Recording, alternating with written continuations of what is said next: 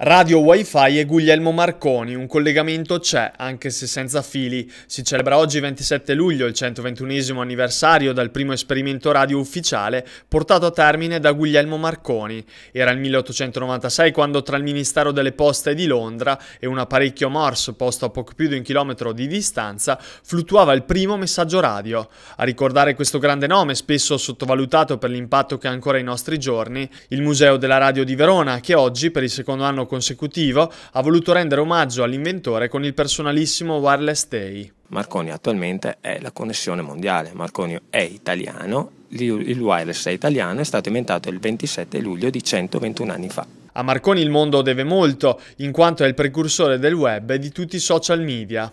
Dobbiamo assolutamente tutta la, la velocità di comunicazione, la possibilità di poter comunicare in un secondo da una parte all'altra del mondo, la possibilità di essere così attuali, così veloci, così multimediali. Un matrimonio tra storia e tradizione lo definisce l'ideatore dell'applicazione presentata oggi in provincia Verona, un'applicazione che sfrutta la tecnologia Beacon e che sarà applicata proprio al Museo della Radio attraverso il proprio smartphone che abbiamo sempre in tasca di eh, utilizzare questo e appunto ricevere direttamente le notifiche, quindi eh, un video, un audio oppure un scritto direttamente dell'opera d'arte di cui siamo davanti.